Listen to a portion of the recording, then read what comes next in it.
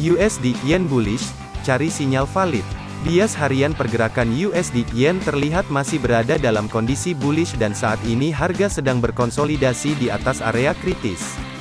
Jika pergerakan USD Yen tertahan di sekitar area kritis pada kisaran 126,43 sampai 126,21 maka tunggu kemunculan bentuk pola candlestick bullish yang valid dengan memperhatikan juga indikator ADX bergerak ke atas maka ada potensi harga akan menyentuh area 127.37 Sebaliknya waspadai jika harga USD Yen terus bergerak ke bawah dan menembus level 126.21 maka ada potensi harga akan berbalik arah dengan bergerak bearish ke bawah menuju level berikutnya pada kisaran 125.86.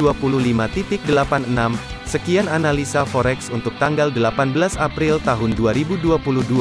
Untuk konsultasi gratis mengenai posisi trading forex Anda, silakan hubungi 081212 983 101.